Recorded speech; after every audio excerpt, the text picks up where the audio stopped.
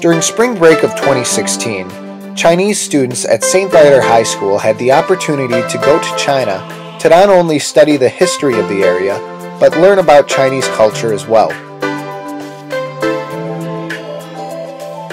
The seniors in the Mandarin 4 honors class will now tell us about their experience of going to China. My favorite memory of China was going to Tiananmen Square because Tiananmen Square definitely is located in a city that is not like any US city because Beijing is the layout of Beijing is so unique and compared to other United States cities and other cities in the world it was just a completely new experience.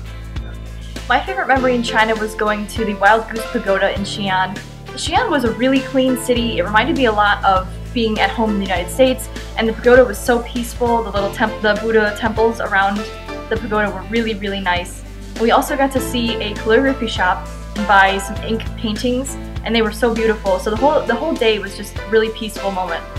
My favorite memory of China was going out to Shanghai and looking at the beautiful skyline. It was really beautiful to see all of the buildings lit up at night and the big contrast across the Huangpu River with the new Shanghai, which is really, really beautiful, and the old Shanghai, which is mainly European and uh, Western architecture. So it was really different. So my favorite memory um, in China was actually climbing the Great Wall. I climbed all the way to the top and I didn't think I could do it at first, but I did it and it was, it was so cool. Like it's it's gorgeous and it's almost unreal that this structure has been there for thousands of years and you can still go see it and learn about ancient culture. So uh, in Chinese they actually have this phrase that is uh, 不爬长城非好汉 and um, so 我是好汉 It means if you don't climb the Great Wall you're not a hero so I climbed the Great Wall so I'm a hero. it's interesting to go to a foreign country in high school because I feel like during high school, you're at the most impressionable age. Because at that age, you your mind is developing to become aware of more cultures and different people around you, and you're gradually starting to emerge yourself in a larger bubble of society instead of your immediate family or your immediate school or your town or city and I feel like that's necessary for success in the larger world. It's interesting to go to a foreign country in high school because it lets you see the culture of other people around the world, it lets you see how they live, their different lifestyles, and the different ways that they interact with people. So it kind of broadens your horizons and lets you see a little bit outside of your own comfort zone. Lives. Like you learn about a different culture and you get to experience it firsthand and you don't really get those um, same experiences just in Chinese class learning, reading from the book about culture. So, you know, it's really interesting.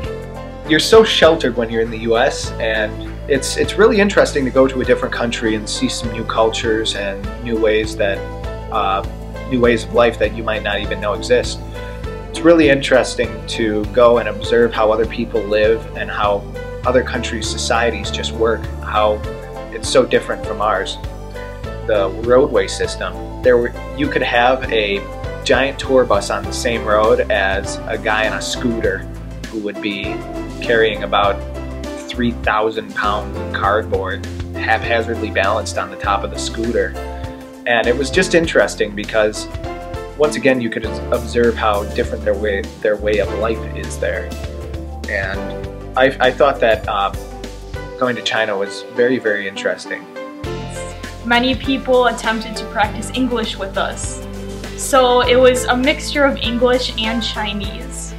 But most of the time you did have to speak Chinese because many people in China obviously don't know English, so it gave you opportunities to use Chinese in public settings such as restaurants, even hotels, transportation, shopping, and the like.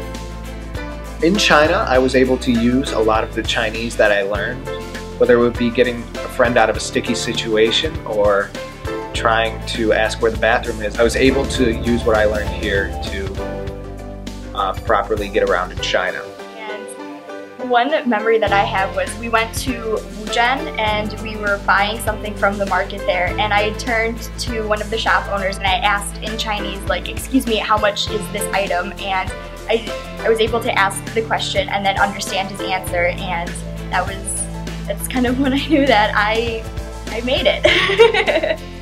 在中国，我们有很多美好的记忆，and that means in China we've all made very beautiful memories. 去中国旅行很有意思。Um, the Chinese actually have a saying called 大开眼界, which means to have your eyes opened by a new experience.